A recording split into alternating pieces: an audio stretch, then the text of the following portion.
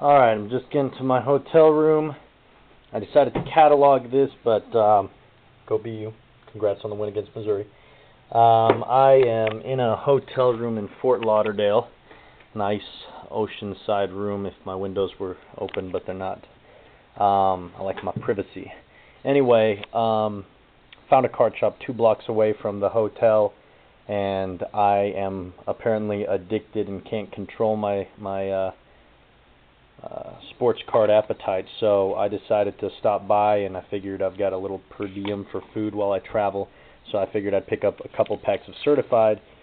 And instead, uh, he only had a couple packs remaining. I decided to get one of those, but he had one pack of absolute left.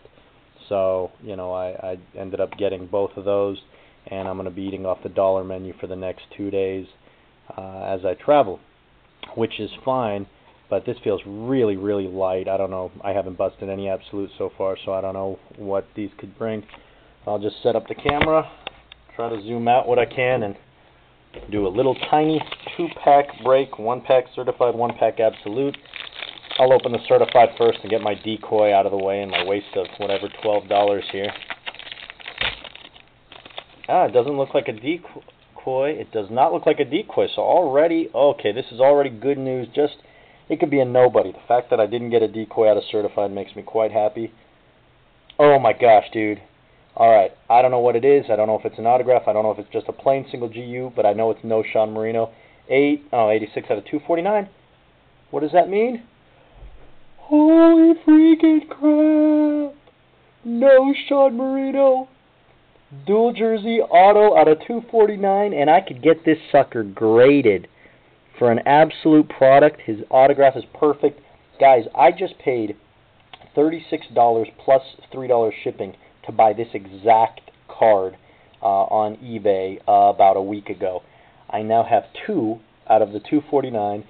Holy freaking crap! I'm so excited. This is the best card I've ever pulled out of a pack, other than a Hakeem Nicks uh, rookie premier auto. I don't pull good cards, so wow! One pack. He had several remaining. I figured all the hits were gone. One pack. I get a Knowshon freaking auto. All right. Well, absolute. It could be a complete bust, and I don't care because that makes up for it. I'm so glad I got that on camera. Um, some heavy duty tape. Must be some 3M tape. Alright, here's my very light, very non not thick pack. Probably going to be a crap little GU, but the stuff I've been seeing of Absolute's been pretty sick lately, so oh, hopefully I get a little bit of mojo. Steve Smith. That looks like uh, oh, Brian Robiskie. At least a guy on Beckett that collects a lot of that. Oh, it's an auto. Well, hell yeah. It's a single piece of jersey with an auto. I was not expecting an auto. Brian Robiskie. Extremely sharp corners for a thick card that's rare. Auto is smudged, so uh, they're not going to give him too solid of a grade if they graded it, but you don't typically get these graded. Number 3 out of 25. Not sure if you could get that. This isn't exactly a high def camera. Maybe, maybe, maybe. No.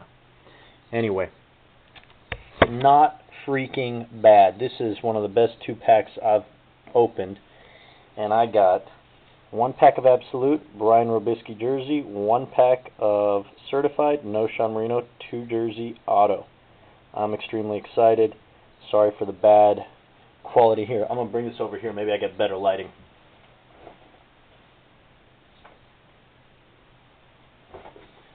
Alright, I've set them down over here, I think. Well, damn, it's pretty bright over here, too. Yeah, there we go. That's a little bit better. So, Brian Robiskie auto, Knowshon Moreno, dual jersey auto. Thanks for watching, guys. Sensei322, and join the group break. we got a certified group break coming up. So, join up.